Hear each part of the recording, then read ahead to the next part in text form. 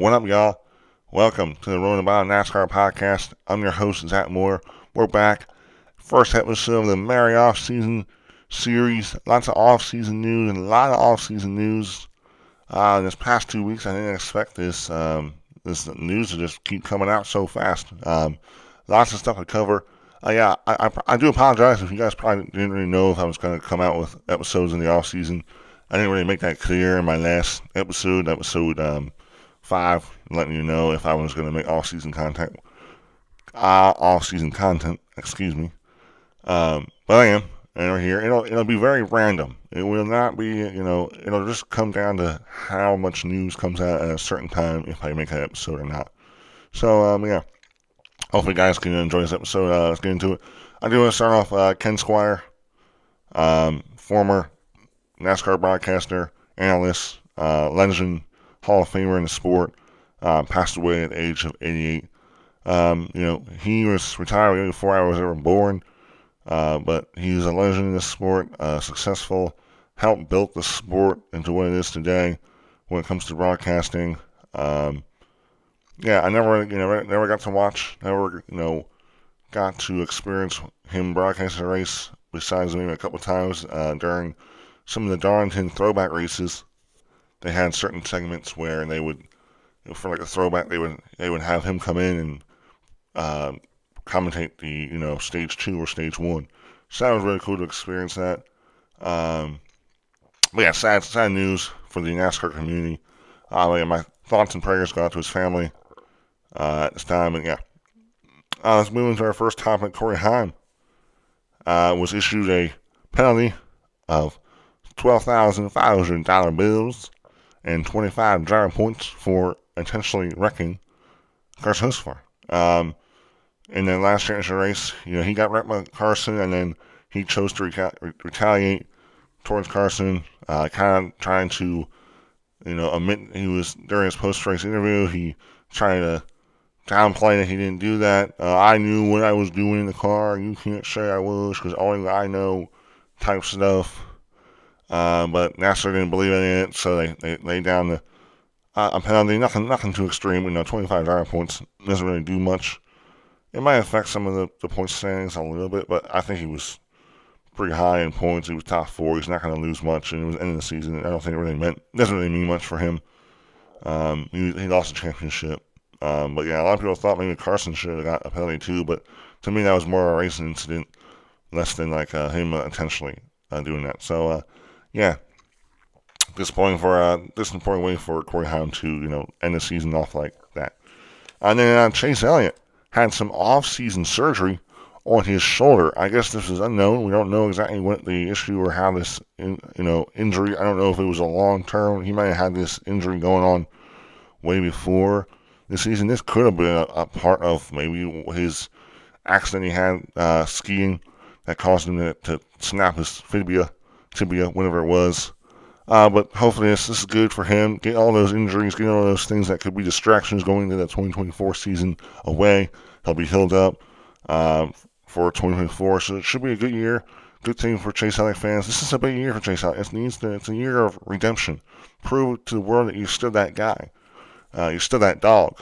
You know, uh, it's a big deal. NASCAR needs Chase Elliott to be successful because he helped he built, build the sport. Fans, he has probably the biggest fan base in the sport. You know, he's the most popular driver for the past three, four, five years. Ever since he's really gotten the series after since Jr. has retired.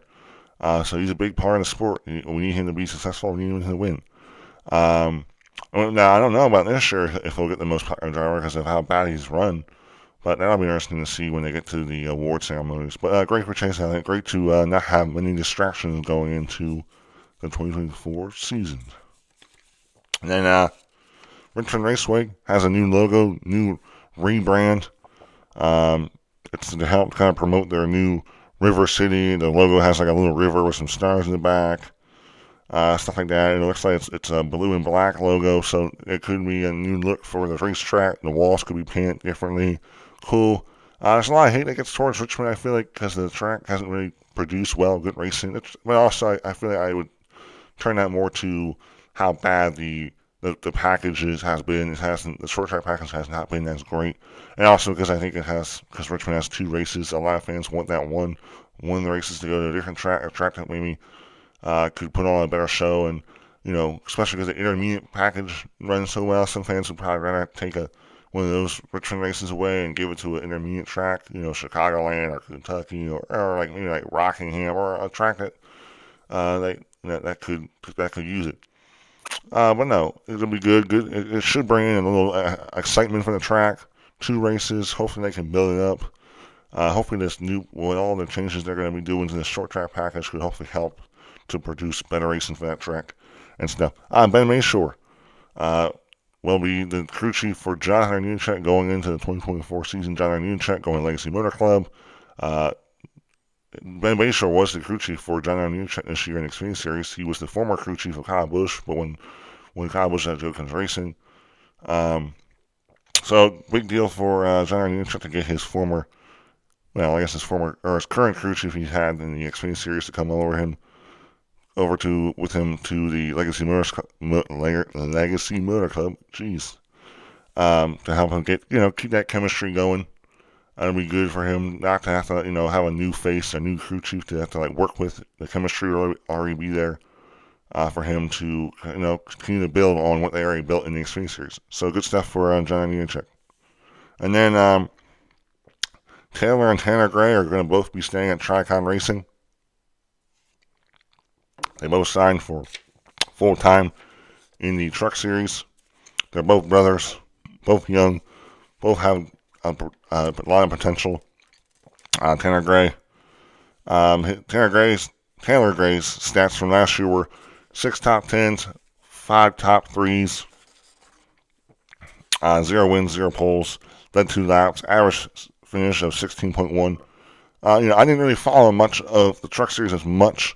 You know, I didn't go as in deep with what um, you know people, the, the, top guys, the the uh, you know the overperformers or underperformers. Uh, but to me, his stats are good. 16.1. He's young. I know he was. I think in the year before that, he was in the Xfinity series, not Xfinity series, the uh, ARCA series. So um, I think because Tricon used to be uh, David Gilliland Racing, but then they switched to Toyota because they used to be uh, Ford. So um, I think uh, this is it was a good year for him, but I think this is going to be an opportunity to improve and build on what he built last year. So good stuff for Taylor Gray, and then his brother Tanner Gray, um, also full time for 2024. Continue to build on what last year was. His stats were six top tens and three top fives. It was the literally the exact same stats. The only thing he did better than his brother was have one pole and an average finishing average finish of 13.4. So, uh, you know, a lot, a little more, maybe a little more potential, a little, a lot, a little better uh, stats there. But both great for the brothers. Continue to build on what they're hopefully to have a successful season next year. Continue to build, build their careers to hopefully improve to get to the next level. Uh, great stuff for them. Always good when you can get, you know, sign up for another year. You know, this is this is NASCAR series. I think all three series are tough. They're all competitive. You all have to be, you all got to be good to, to, to compete in those levels and be successful. So great for those guys. And then going in, uh, Kyle Kyle Weatherman will be running full time for DGM Racing. Uh, he'll be driving the 91 Xfinity car. Uh, I think last year was a decent year for him. I think he was a little part time, part time in '91. That was a full time car. Uh, his stats from uh, last year were uh, zero top fives, zero top tens, uh, 25 starts. Um, so you know he's running, he's running for a much smaller team. Doesn't have as much of the same technology equipment. The people aren't as good as what you know the big teams are but always good when you can get a full time ride for any team in the Cup Series, not Cup Series, my bad, Xfinity Series. So good for him. It's going to make him feel good, be able to go into another year, another year to improve and hopefully build. And who knows uh, what could happen? A win at Super Speedway. Uh, is a team on the rise. They're young, they're improving, uh, they're trying to build their, their racing program. So good for uh, Kyle Weatherman. Good stuff. Then, uh, Brennan Poole. Brennan Poole announced he'll be going full time Xfinity Series racing with Alpha Prime Racing in 2024. sponsorship will be Finance Pro Plus, Mako Door Systems. That gives the organization two full-time drivers signed, in then Ryan Ellis, number 43, and Paul No 44. So uh, it's it's going to be a big deal for uh, Alpha Prime Racing to get Brennan Poole. Brennan Poole is uh, with I think JT JD Motorsports, a much smaller funded team. He just kind of been bounced around from team to team. Nothing, not as you know, hasn't really performed as high level as maybe he wished. Um, you know, his stats last year were one top ten and one top five, zero poles. Um, he had two laps. Average finish was twenty nine point one. So you know he's run he's not running as great, but he's running for a lot smaller team, low funded team. Uh, so he hasn't really gotten the resources. But I, Alpha Prime is definitely an improvement when it comes to equipment, people, technology for him. So I think this is gonna this is gonna be probably his best opportunity he's gotten in any ride in any series. So a great thing for him. And then uh, Jake Garcia, uh, uh, ThorSport announced that Jake Garcia is going to be the truck driver uh, for the number one truck for the full full season schedule. Um, truck number, I guess, actually my bad. The truck number was not announced, but it looks like he's going to be replacing uh, Hailie Deegan. ThorSport will also be continuing to go to Ford. They'll continue to be a Ford team. So, uh, good thing for them. Going to be a big deal.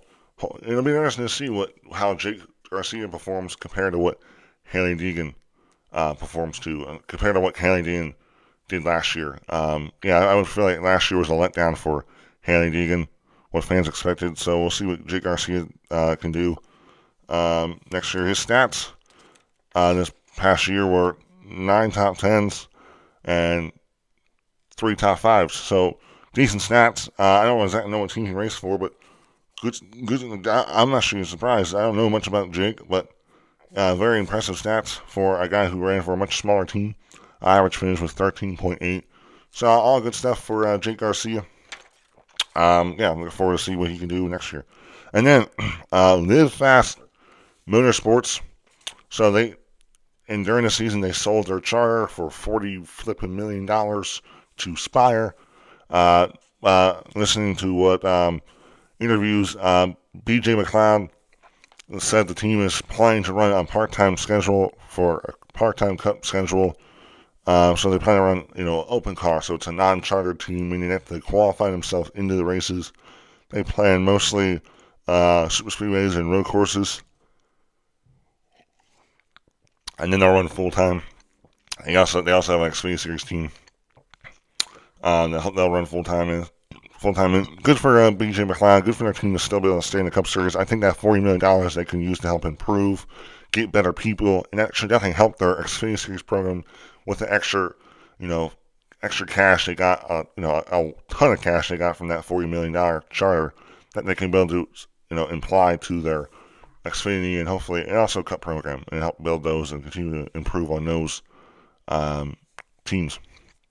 And then uh, Spire Motorsports announced. So Zane Smith, who is a signed signed to Trackhouse, but you know Trackhouse is leasing him to Spire.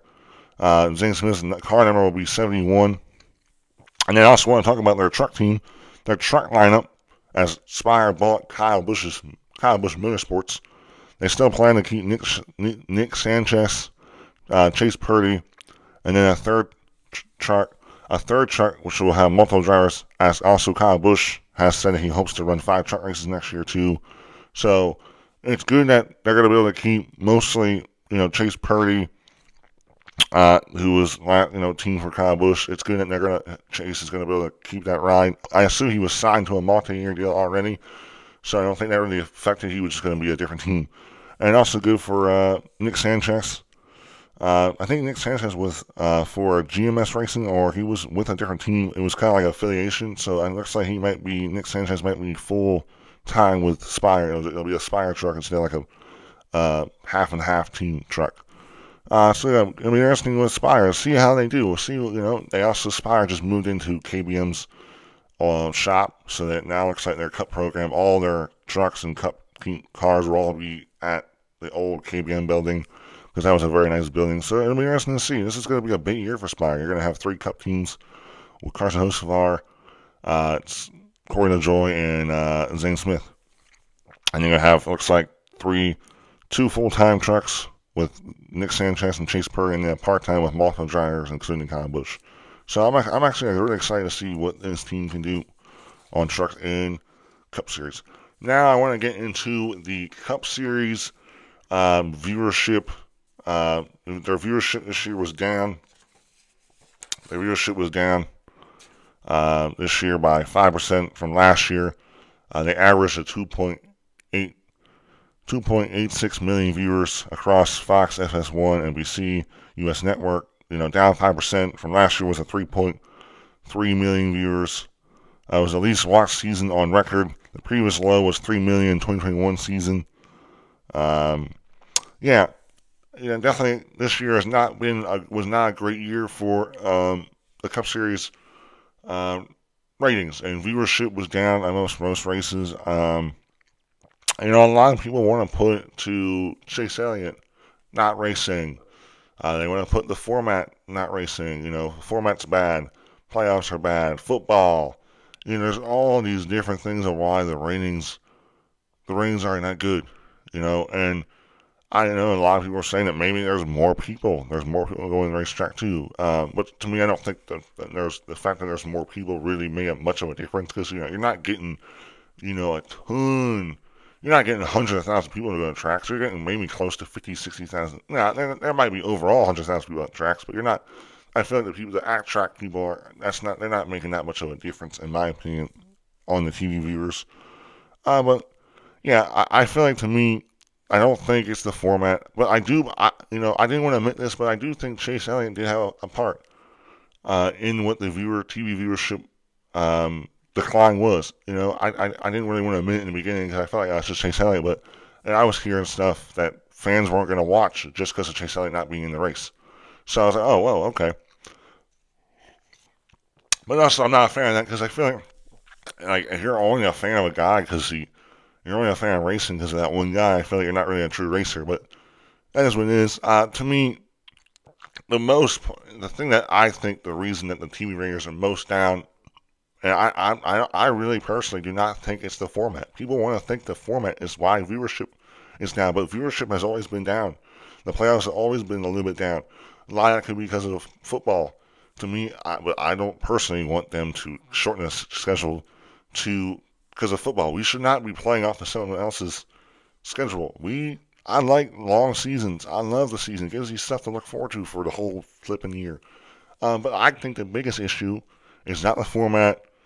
Um, it's not, you know, the racing could be a, a, factor, but I don't think it's the racing. To me, I think it's the, the, the drivers, the star power. We don't have any outspoken people, maybe besides Denny Hamlin. We don't have, like, people that can draw to it. You know, back then, we had Jeff Gordon, Tony Stewart, Dale Jr., uh, Matt Kenseth, all these like outspoken dudes, Mark Martins, these guys that were willing to say what they thought, you know. And I think star power and, and building stars and building popularity towards a driver is very important. It's to me the most important thing to help build the sport, and I think that's where we lack. We lack drivers that people like, drivers that are outspoken, uh, drivers that people, fans that can that can connect to.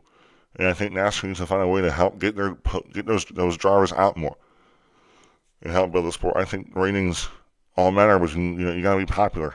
I think that's what NFL does good because they NFL you know they build stars all every year. They're able to build that one star. You know they build that star around how good they are on the racetrack. And I think nowadays, to me, you just because you're good on the racetrack does not mean you're going to build fans. I feel like Hendrick Motorsports thinks if I think Hendrick Motorsports has the most boring personality ever. They're just boring drivers. They they prop their drivers up like that. I feel like they're very they are strict towards how their drivers can act, um, and it's just annoying. I think that's like I I just think that the teams gotta let their drivers be who they want to be, and I think let the drivers market themselves, let the drivers push themselves out there. And also, I think NASCAR should let drivers say what they think. I mean, uh, unless they're wrecking someone, unless they're turning someone head on into a wall, I don't think NASCAR NASCAR should just let them say what they want. You know, I got Max Verstappen out here bashing the sport of F1, and F1 ain't gonna do anything about it. I haven't heard anything about them doing anything about it. They just gotta let their drivers say what they think. Okay, you just gotta let your drivers be more free. Because I think if you try to restrict your drivers to being like fake or not being them true self, I just think you're hurting your sport. Uh, so I think NASCAR needs to build stars if they want to help improve their TV rating. Uh, but yeah, it'll be interesting to see what's in this new TV deal, where that all goes, and what you know TV networks will be covering the sport in the future. The next topic, SVG, aka well, Shane Van Gisbergen, if I'm saying that right, aka SVG, three-time supercar champion, won the Chicago Street Course race. Um, plans next year he signed a big NASCAR Trackhouse developmental deal. If I'm saying that right. Uh, he plans to run 20 races next year. And his end goal is by 2025 to go full time in the Cup Series. Um, you know, I was, it'll be very, really interesting to see um, how it all plays out. To me, 20 races, it'll be a mixture between Cup, Xfinity, Craftsman Truck Series, and some late model races. Uh, his team owner owns, part owns the CARS Tour race, uh, CARS Tour Series. So I think that all of that will be uh, very big help to him. But 20 races, he has 20 races pretty much to prove to Trackhouse that he deserves an opportunity to go full time in the Cup Series. And a lot of things I, I guess 20 races is more than what he runs in the Supercar Series. I just think it's going to be very. I want him. I want him him to succeed, but I think this all comes down to how Daniel Suarez performs, because Daniel Suarez is on a contract year. And you know, last this past year didn't really perform that well. Fan, he was definitely a big, a big letdown in my opinion, uh, for him to, um, you know, he didn't get a win. He won in 2022, but didn't really perform. He missed out on the playoffs and just was a letdown year. So this is a big year for Daniel Suarez. If Daniel Suarez does not perform well, he could be out of ride. And we also we also have to look like this. We got Zane Smith, who is a sign of Trackhouse, but also but he's kind of a spire driver. So who knows? I you know, Trackhouse knows they have Zane locked up, and they know he, they have Zane as Zane. I think will be good. He can stay Spire. I think he can develop. But I you know I think it's all also going to come down to if we get a charter, um, a charter. If they can get a new charter with this new deal, we'll have a new charter agreement. So either the charters will stay or they'll go. Hopefully, maybe NASCAR will add a couple charters. Um, but like it'll be very interesting because you'll be having pretty much maybe three guys all going after one ride next year. But I, I would still think it's more Daniel Suarez versus SVG because I think I think Trackhouse is okay with keeping Zane at Spire for a couple years, let him develop there, let him keep that ride, let him learn and grow and experience. I think it all it all comes down to Daniel Suarez, and like I also hope that with this new developmental deal that Trackhouse is going with, with uh, SVG or Shane Van Gisbergen, that they do a full they do full time for one series. Like I feel like the late model series the CARS Tour series, that's like one of the toughest late model series. They run, they run, they only run short tracks, but I think it's one of the toughest short track series, series in the world. I think it's probably the toughest. I think he needs to do full time in one series to just you know compete for points, see how he does.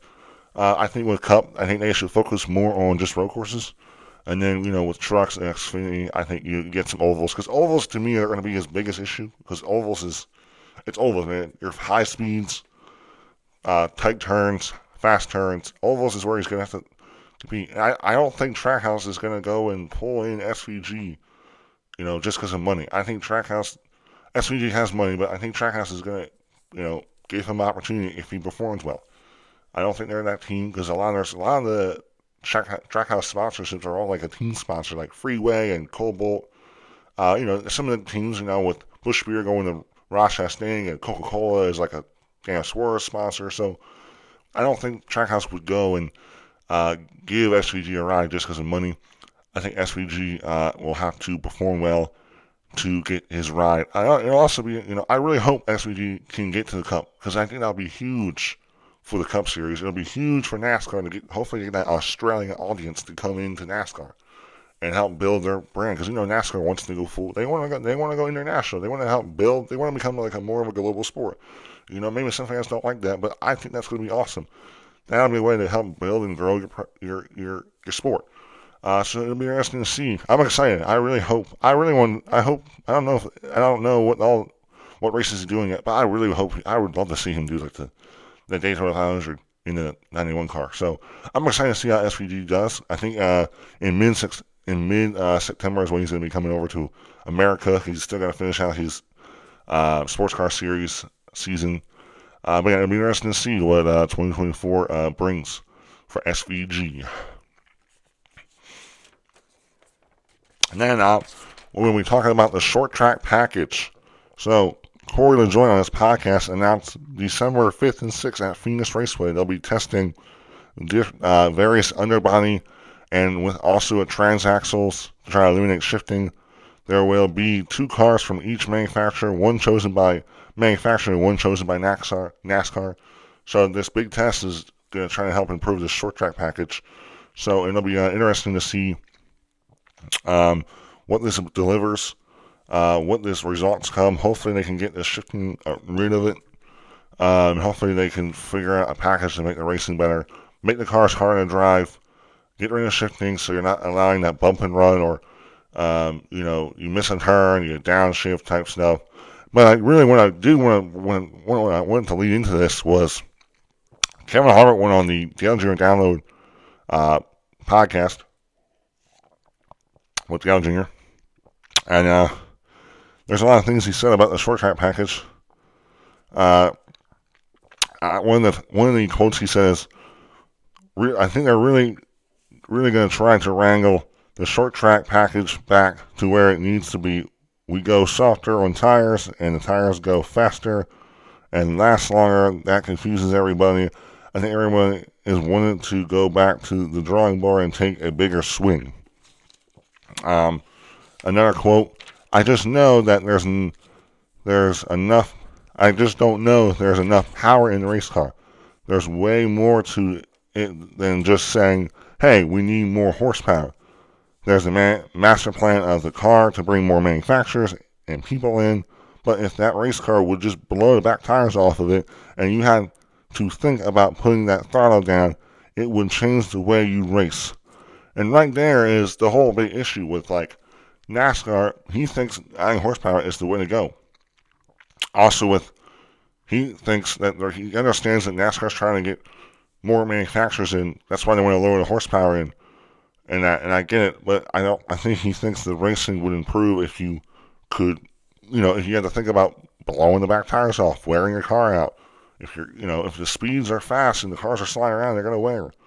Uh, also, some more comments. He said, I think they're going to take a big swing at the tires. Just the whole package in general, in my opinion, I think will be hard to fix unless they go faster, getting into the corner and slower in the middle of the corner. I wish they would just try it with parts and things. We do, we do now. I don't believe that's that much horsepower would be that big of an issue for the engine manufacturers. But if if the engines blew up here and there, who cares? The engine bills don't go down engine bills have not gone down since they went to these rules. Um, yeah, so there's a lot of stuff he said there. So really, what he's he just thinks if you, which I understand, I think if you can make the cars where they let off more, you're not like at these like these intermediate tracks. They're they're going wide open. They're like they're figuring out a way to get these cars to go wide open more uh, you shouldn't be going wide open. Like, that's not, to me, that doesn't take much skill. It doesn't allow the car, the car doesn't handle as bad if the car is, all you gotta do is wide open. So I think they gotta figure out a way to get the cars to be more loose, lay off the gas, more throttle control. You have to be more gentle. No, it's not just, hey, drop a gear and smash the gas. You have to be, play with the throttle. You know, that takes skill to manage your tires with the throttle. Uh, there's a lot of things I think NASCAR can do. And also the engine bills, the engine bills, they, they're not cheaper because really what they're doing is they're taking these engines, and I, I'm not an engine guy, so I could be speaking really and acting really like dumb, like I think I know what I'm talking about. But what he's pretty much saying is the engine bills, the, the engines are still the same. They're just modifying them so they don't they max out at a certain horsepower. The engines can, I think the engines they're running can produce nine horsepower, uh, but I think there's a better way that he thinks, I think he was saying if we can get up to around 750 horsepower, um, that would be good because right now they're running around 675. If they can get a little more horsepower, and that shouldn't be that expensive, 100 horsepower more, I think NASCAR needs needs to try it. And who knows? It doesn't look like they need. There are certain parts they have to get that the teams don't have, so they may have to wait till 2025 to try this. But I think they need to try more horsepower. If this package, if this upcoming test does not work out, then I think they need to figure out they need to they need to test more horsepower. Um, so yeah, really interesting thoughts to uh, Kevin Harvick he said there. Um, also, one thing I want to talk about Kevin Harvick, you know, good run for his last race. He uh, actually bought Ricky Bobby's North Carolina mansion that he used in Talladega Nights for 6.7 million. So I don't know what Kevin Harvick's going to do with that house, but it's pretty cool that he bought the original house. Uh, I wonder what he'll do with there. You know, know, interesting, cool stuff. You know, he just you know, ah, I retire, I'll just drop 6.7 million on a, a house. You know, it's kind of cool. Cool. Actually, this was so big of a deal. Kevin Hart buying this house was such a big of a deal that SportsCenter had to post about it. Incredible. ESPN posted about Kevin Hart buying a stinking house. Uh, pretty funny, pretty funny. Um, and then uh, the last topic I wanted to bring up, probably to me the bigger news that was the more interesting news. I thought, well, a lot of, a lot of good news, a lot of interesting news. Um, was Kaulig Racing announced that Josh Williams will drive the No 11 Xfinity car next season. Alloy Employer Service will be the sponsor. I think Alloy was the sponsor for him when he was at DGM Racing, but this is a big deal.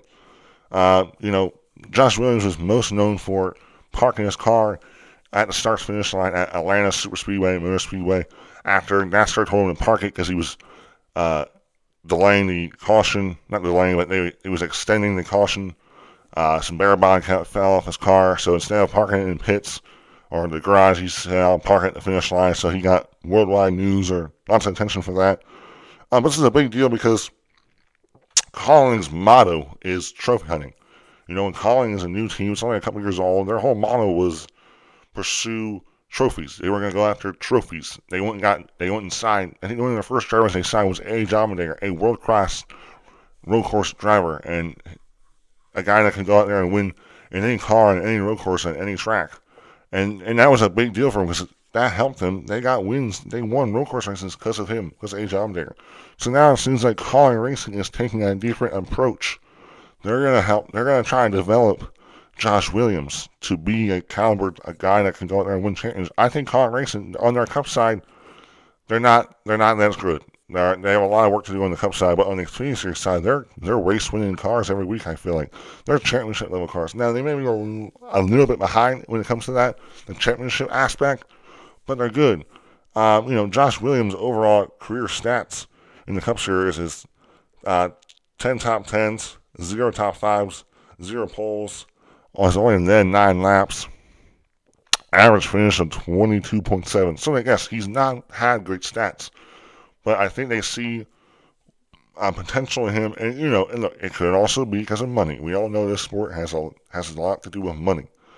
Um, so it could be that he was bringing in a lot of funding, and Kaulig needs funding, and they see that this guy has a lot. And they see potential. And look, Josh Williams' personality uh, he has a great personality. If he can be successful and win, that's going to be big for the sport because he's a funny dude. He literally, after parking it in the start finish in Atlanta, he got sent to the NASCAR Hall and had a big old shebang there.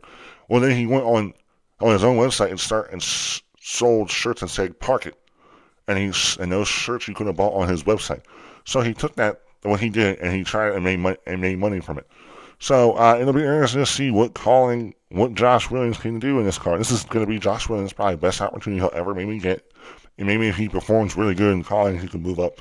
But it'll be also really interesting. We also we don't know what what um, Kaulig will do with A. Allmendinger. There's talks that he may go back to down to Xfinity, or he'll stay with Cup. Uh, there's talks that Ty Dillon could be going to replace the 16 car, and AJ will come down to Xfinity. So there, there's still a lot of news to come out with Kaulig to see where what direction they're going to take this. Uh, but uh, to me, this shows that Kaulig Racing is willing to maybe forfeit trophy hunting or trophy, you know, tr- trophy catching to go and help develop and build on a guy. So to me, that's that's good for Josh Williams. A big deal for him. Excited for him. I like Josh Williams. I think he he's he has personality. He he could be a star in the sport. Um, but yeah, well, that's I think that's a wrap. Hope you guys enjoyed it. Uh, really, really excited to continue to build and improve on um, just the podcasting in general. Um, I'm looking forward to seeing what all news comes out. This will guess what this will be very random. Um, I, I really it all depend on how much news comes out around the world around the series. Uh, if I, I plan to, I may not make an episode until the end of after Thanksgiving or into December. Uh, but yeah, I hope you guys all have a uh, great Thanksgiving. And uh, if you ain't first, you're last. See you, y'all.